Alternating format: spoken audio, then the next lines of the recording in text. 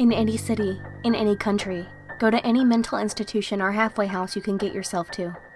When you reach the front desk, ask the clerk for permission to visit someone who calls herself the holder of the beginning.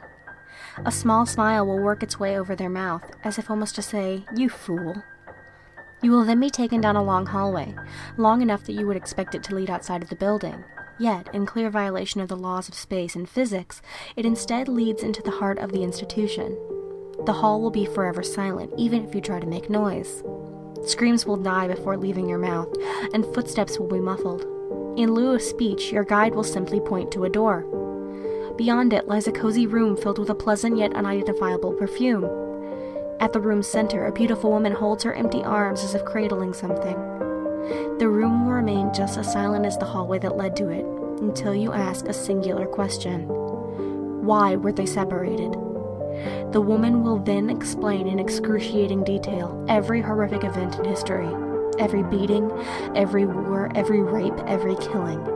No travesty in the history of the universe will escape your ears. When she finishes, all will fall silent, and you will be free to leave. It is up to you what you will do with this information. That woman is Object 2 of 538. It is up to you if they should be joined or not.